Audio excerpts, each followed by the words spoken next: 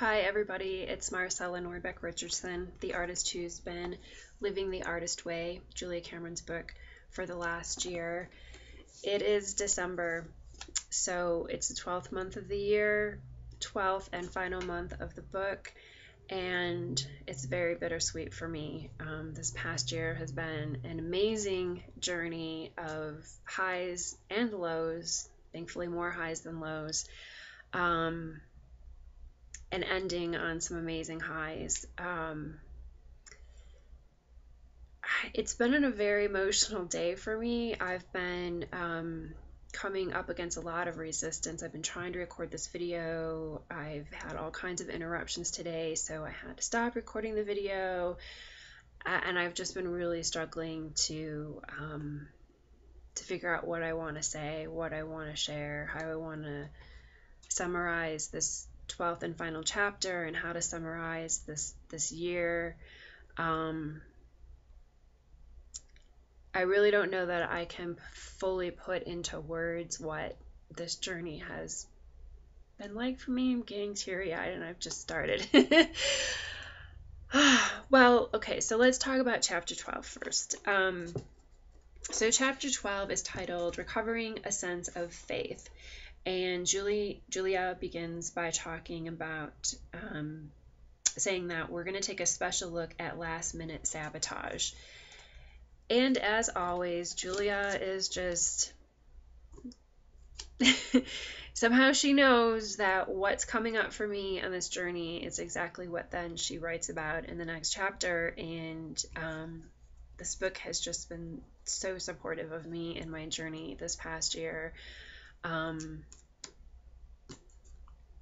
yeah.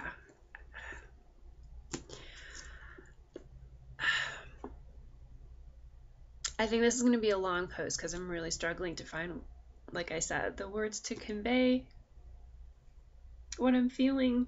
And I know I'm coming across as emotional, but the truth is, is what I'm feeling is just my heart bursting with so much love for Julia Cameron, who I would love to meet someday, um, but who I have not personally met, I've never corresponded with directly, and yet she's been such an amazing guiding light in my life. I'm just so grateful for where I am in my life and in my career, and there's no doubt in my mind that I am where I'm at because of this book. It's been life changing. Thankfully, I have tissue that is within reach, so just give me a moment here to collect myself. Um, I've decided I'm just going to keep recording through. I have tried and retried to restart recording this video because every time I start talking, I keep getting really emotional. Um, but if I don't just commit to this, I'm going to be up all night trying to convey to you um, my final thoughts on this journey. Okay, so chapter 12. So the chapter is about faith. Essentially, it's about continuing to have faith in ourselves on our journey. And um, Julia talks about what a friend of hers helped Julia come up with um, an expression called escape velocity. I'm going to read part of this chapter to you. It's it'd be hard. It, it's going to be easier for me to read it than try to explain the concept.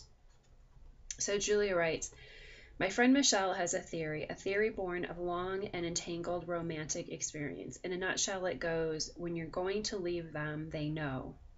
The same theory applies to creative recovery. It occurs when you reach what Michelle calls escape velocity. As she puts it, there's this time for blast off, like a NASA space launch, and you're heading for it when wham, you draw to you the test. The test? Yeah, the test. It's like when you're all set to marry the nice guy, the one who treats you right, and Mr. Poison gets wind of it and phones you up. Ah, the whole trick is to evade, evade the test. We all draw to us the one test that's our total nemesis.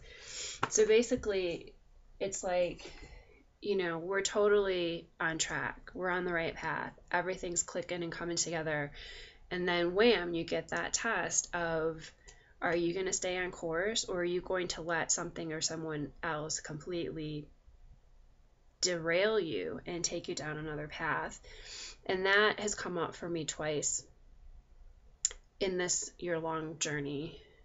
Maybe more, but two particular instances are coming up for me at the moment that I want to share in regards to how the escape velocity theory, um, I can relate to that.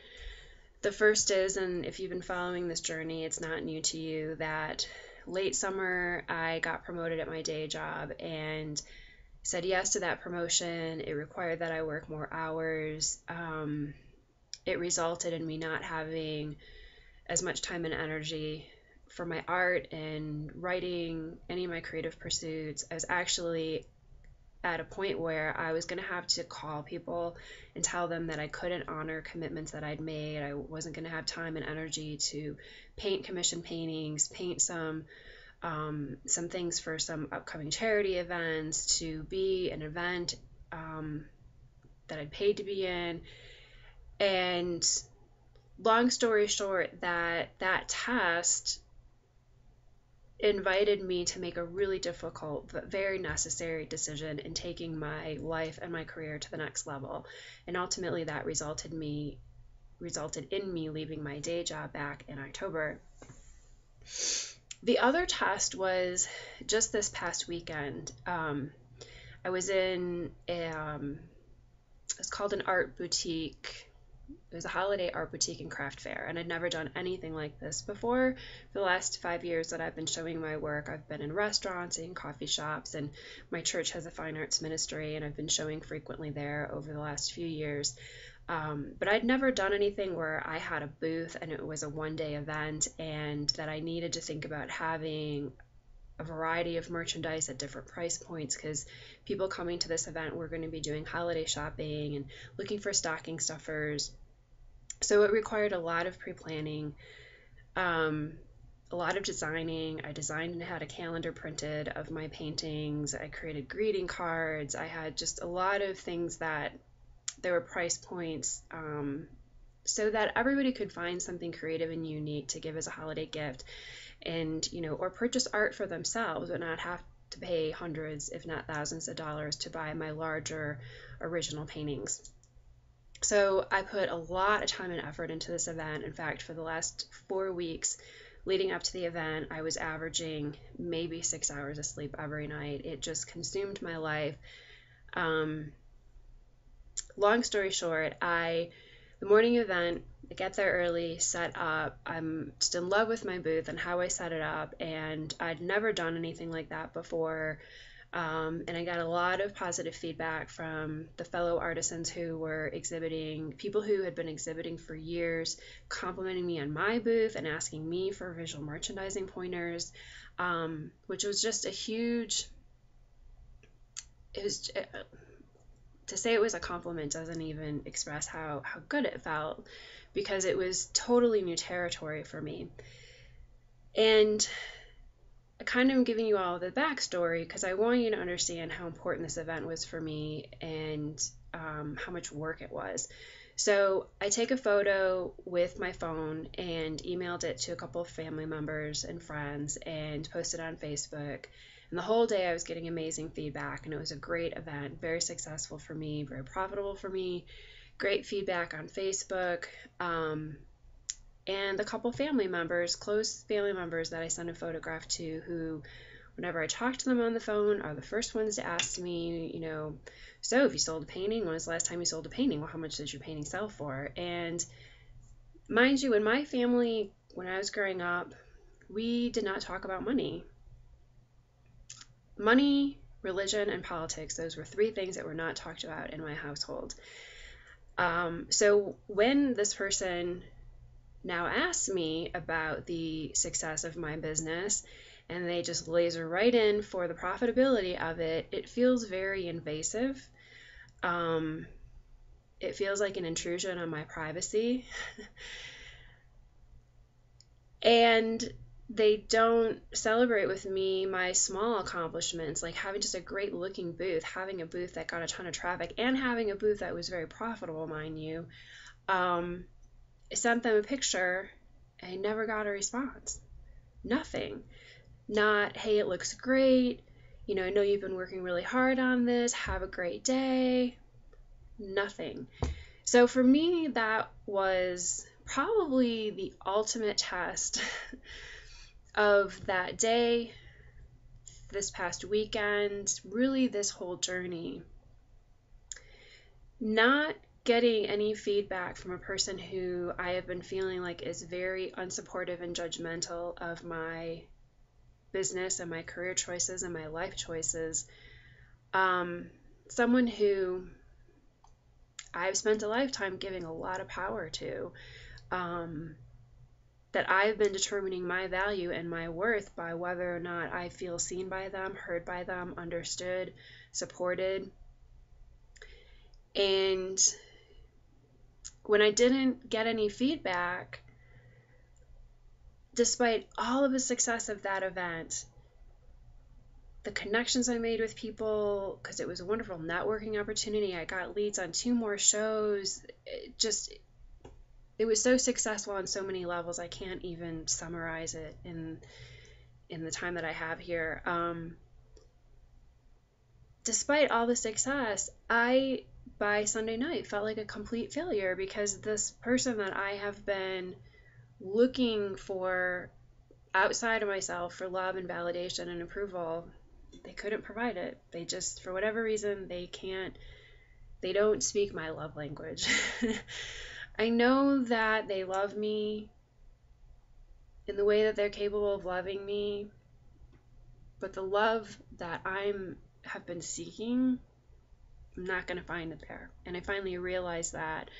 And I finally realized that I have spent an entire lifetime making choices and decisions about my life and the various careers I've had over the decades based on wanting this person's love and validation and their approval and their support and their understanding. And there's been a lot of dreams, a lot of ideas that when I shared with them that I didn't get support and I let them go.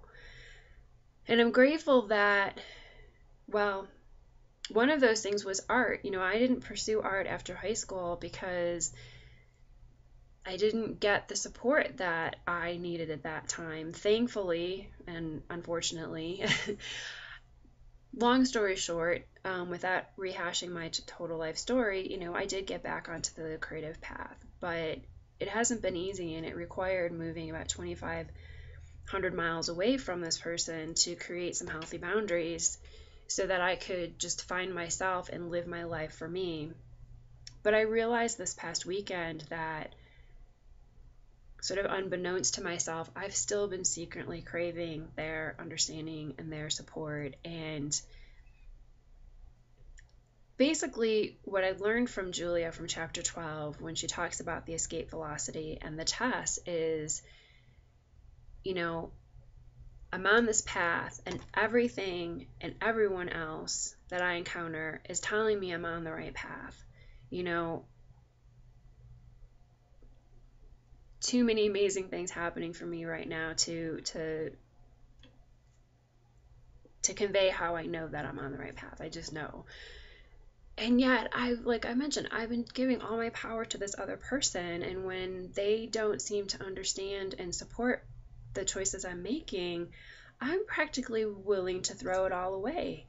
I I allow their lack of support to allow all these negative, fearful, doubtful thoughts and come, and come into my mind and I'm done. It doesn't support me. And um, that's where I'm at. I think gosh, there's been so many things that have come out of this year for me, but realizing that not everyone's going to understand me, like me, understand or like my work, whether it's my paintings, my writings, or any other way that I choose to show up creatively or express myself in this lifetime. And to allow someone outside of me to determine if I stay on the path that's calling to me, that's just, that's crazy. and it's sad that I realized I, I spent most of my life living that way. And I'm grateful that finally at 40, I'm, I've become more aware of my behavior and that I can course correct and you know, it's unfortunate that they don't want to celebrate my wins with me. But that's their choice, and I am no longer going to get in my own way by allowing someone who isn't a fan, essentially, um, to dictate the direction I take with my life and my art and my career. Um, so, yeah, that's a huge takeaway from this program, and that's just one of many amazing gifts that I've gotten from Julia.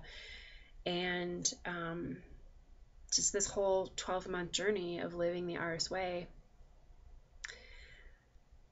This is already a long post, but I did want to share with you a few things that I am working on. Um, you know, kind of the okay, so this is done, what next? Um, I mentioned, I think, in my last post, I'm working on three commission paintings for two different clients um, two for one gentleman, a large painting for um, a lovely lady. Busy doing that. I'm also getting ready for a two woman show in February. I will be in the front gallery of a Saint Gallery in Denver from third Friday in February through first Friday in March. Um, I'm continuing to take some online courses. Um, let's see here, what am I taking? Um, I signed up for Chris Carr's Spotlight. It's kind of a marketing PR course. I signed up for, say, uh, what is her name? Sarah Ahearn Bellemare. She has a book called called Painted Pages, and it's a lovely little um, creativity book and she talks about how she sets up her studio, how she utilizes sketchbooks to help fuel her creativity.